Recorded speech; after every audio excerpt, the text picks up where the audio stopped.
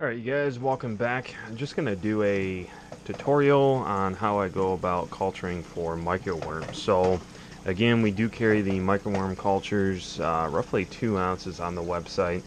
Uh, and this is a video tutorial on how you should go about doing it once you receive these at home. So you'll see here I got four Tupperware containers and each one of these I just picked up at our uh, local dollar store So if you have a Dollar Tree um, around your area, then uh, you can also pick these ones up. The ones I use are SureFresh Professional. Um, and uh, go ahead and pause it there if you would like. Take a look at the info. And what I like about these is you can actually pop off the top so you don't even have to worry about perforating it. Alright, so now you're looking at, this is from June 20th. So again, no other added perforations at all on top. It's going to be kind of hard to tell, but um, what they do is they'll actually travel their way up. And at that point is when you want to actually uh, go ahead and remove them either with your finger. Um, you can use a, uh, a small paintbrush such as this. Um, it just kind of is personal preference. So preferably rather than actually, you know, taking it like that, which isn't going to necessarily hurt anything. Um, just less actual potatoes in the uh, aquarium is overall best. Uh, but again, uh, as long as you're doing good water change regimens and so forth, chances are your fish are going to end up eating it. Um, anyhow, uh, but uh, just keep that in mind. I mean, um, so preferably, um, so let's go ahead and get back to uh, the culturing of these microworms. Alright, so I'm going to go ahead and just show you here on one, and then I'll repeat the process for the four, and then we'll go ahead and wrap it up, and I'll show you what the completed um, project looks like at the end. And uh, go ahead and date it. I just use regular green painter's tape here, um, something that's easy to pull off or remove. Uh, you can go ahead and time it as well. I don't necessarily do that. I just went ahead and put the date, which is July the 5th. And um, I'm going to go ahead and open this up. And then what I like to do, again, you guys hear me talk about this time and time again, that why make the hobby any more expensive than what it has to be? So keep it as cheap as possible. Um, I just grabbed these Idaho instant mashed potatoes from the dollar store you can go ahead and pause it there so you can look. Again, Dollar Tree. Uh, this is uh, 8 ounce. so let's go ahead and get that open. And let's look at the next step. Alright, so I'm going to go ahead and actually just dump the whole box in there. Get rid of that. And then what I like to do is go ahead and use just regular aquarium water and basically, if you just follow the recommended um, instructions of how you would go about making instant, instant mashed potatoes, um, so I'll go ahead and follow the recommended instructions. Again, keep it simple, stupid. And um, remember the KISS theory, the KISS method, and your life will be a lot easier. So no reason to overcomplicate it. Um, I generally like to get it right around peanut butter consistency. It can be a little bit, um, a, a, little bit, uh, you know, uh, runnier, I guess you would say. Um, runny isn't the, the appropriate term to use, but yeah, you don't want it too runny. Um, but uh, yeah, so let's go ahead and get to the next step. Alright guys, so the next thing here, like I told you, I'm going to go ahead and just use regular aquarium water. Uh, that's just what I prefer to use and what I would recommend for you guys also use. So again, it's calling for, I'm going to go ahead and do the full 10 servings as that's what's in here. And it's calling for three and one third cups of water. So I'm going to go ahead and do that and then we'll take a look at the next step. Alright, so we went ahead and got the water added. You can always uh, thicken it up by adding more instant mashed potatoes or you can go ahead and do vice versa and uh, make it a little bit uh, looser by, of course, adding more water. So uh, looks like this will be perfect. The main thing is you want to make sure that all of the uh, instant mashed potatoes are actually fully dissolved in the water. You don't want any of that dry stuff. Uh, it's just going to not turn out the greatest if you do. So go ahead and get this mixed up. I don't have a helping hand today and uh, didn't get out my tripod so that's the reason the fact I'm actually doing this one-handed. Um,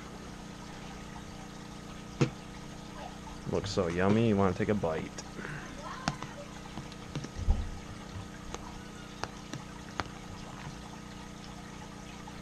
Alright.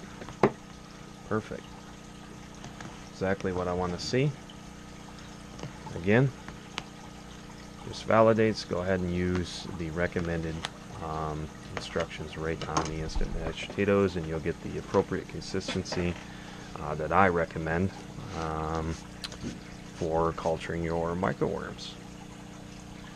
So now what I'm going to go ahead and do, so when you guys end up receiving your uh, roughly two ounces at least, it might be a little bit more than that, um, that you will receive from us if you order from us. Um,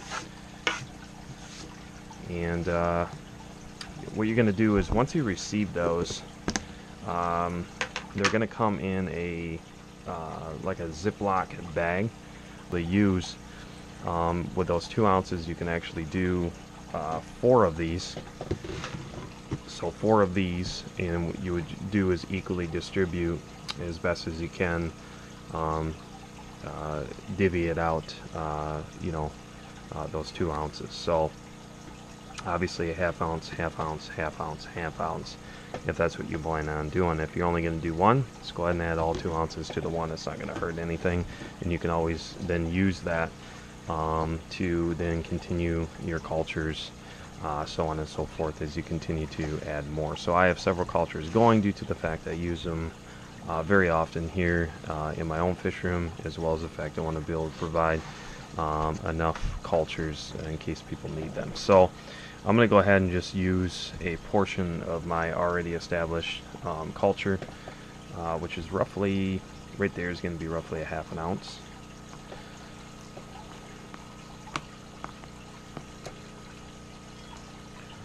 And I'm going to go ahead and just mix it up. You don't need to go crazy.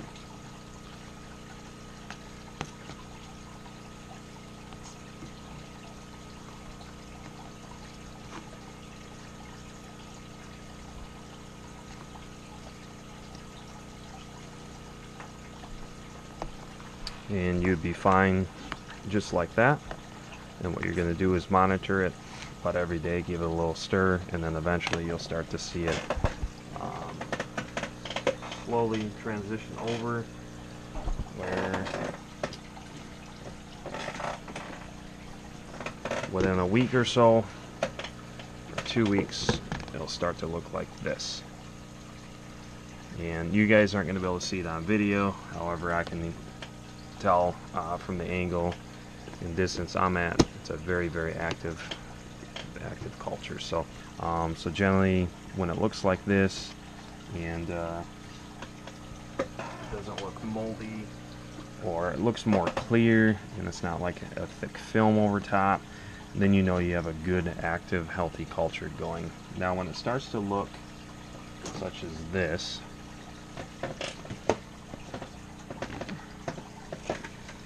and I purposely held on to this one so I could show you guys. Um, you can kind of see there it's a little bit more of a golden, uh, yellow, orangish, well, I should say that, probably more of a golden, brownish color. Um, then you know you're getting towards the end and you want to go ahead and, uh, and utilize a portion of this, clean this out, and uh, hold on to a portion of it clean it out, and then go ahead and add your instant mashed potatoes. Obviously, you're not going to be able to use an entire 8 ounce box of mashed potatoes in here uh, due to the fact of the size, but um, basically, again, whatever container you use, follow the recommended instructions uh, for the instant, instant mashed potatoes and you'll be completely fine. You'll get the appropriate consistency and then you can go ahead and add um, I would recommend at least in half an ounce of uh, microworms to go ahead and, and get the culture started uh, successfully. I wouldn't really use anything less than that. You could always use more, Uh, it's not going to hurt. It's just going to get it uh, get it going faster. And then once you get an active culture going, such as this or this, then you can go ahead and just scoop a portion of that out and then repeat the process. It's simple as that. Uh, it's one of by far the most um, cost effective and most efficient ways I've found through the years to feed uh, fry and I'm going to show you guys in just a second how I go about doing this so stay tuned and we'll be right back. Pulling up another culture here um, as you can see we get better lighting. Let's see if we can pause it right there and you guys can go ahead and see how active that is. Um, so I'm just going to take a small portion of that. You can see right here, um, I have some guppy fry that are growing out. So I'm going to go ahead and just add some of the microworms in there. These guys are close to juvenile size.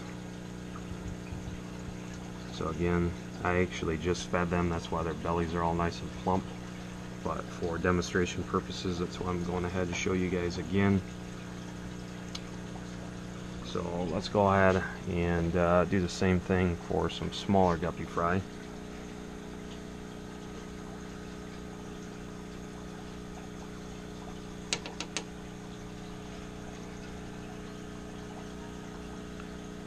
You can see there again do as I say not as I do but I do enough water changes on these guys like I said.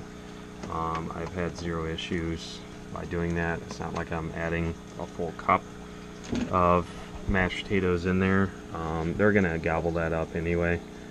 So there's a few uh, guppy fry in there. I'm gonna be adding a few more here uh, in a little while. This is one of the uh, rearing grow out tanks. So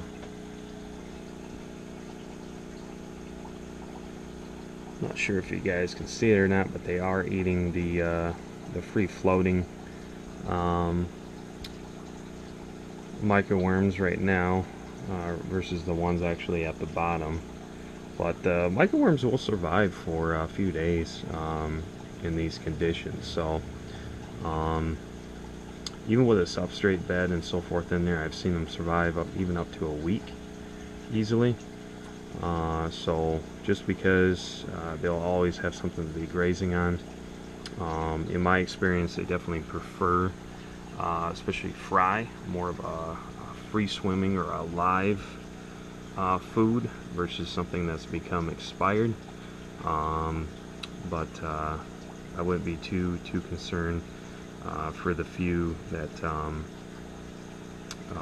you know that they don't end up getting that may become expired and deceased and so forth um, as, as far as causing big water swings and so forth. I mean, they're so microscopic that uh, it's not going to cause like a huge ammonia spike or anything like that. Just keep up with your water changes, good um, good husbandry with your setups, and good good judgment and common sense, and you guys will be fine. So I'll even feed microworms to even the adults and I find oftentimes you can see a bunch more fry there that they just released. Um, so I'll be obtaining those guys out of there and getting them moved. But uh, but yeah so. Even with the Mikrogeophagus so a lot of the ones like a lot of your dwarf cichlids and stuff like that um, even some of your larger cichlids I find they'll actually help like uh, getting them to um, anytime you feed live foods. Um, you know more probably preferably like uh, mosquito larvae or uh, frozen bloodworms or live blackworms um, you know I find that they uh, they do exceptionally well to trigger um, breeding. So that's kind of a quick tip. Um, when you're getting ready to trigger breeding, uh, besides mimicking the rainy season, um, you can go ahead and actually introduce uh, for a day or so, do some heavy feeding uh, three or four times a day with like uh, mosquito larvae, uh, frozen bloodworms, live blackworms, um, even some microworms, um, brine shrimp, what have you, and uh, it'll actually get them trigger breeding, especially with the mycogeos, discus, uh, even with the guppies, um, a lot of different uh, species of fish. So, again, just sharing kind of a quick tip that has worked successfully for me. But, yeah. So you guys, I want to appreciate you so much for stopping by. Hopefully that made sense. Uh, if you guys do have any questions at all, feel free to go ahead and put them in the comment section below. Make sure you guys like and subscribe. Hit that notification bell, and we'll talk to you guys on the next one. As always, stay encouraged. Keep on keeping on. Happy fishing. We'll talk to you guys soon.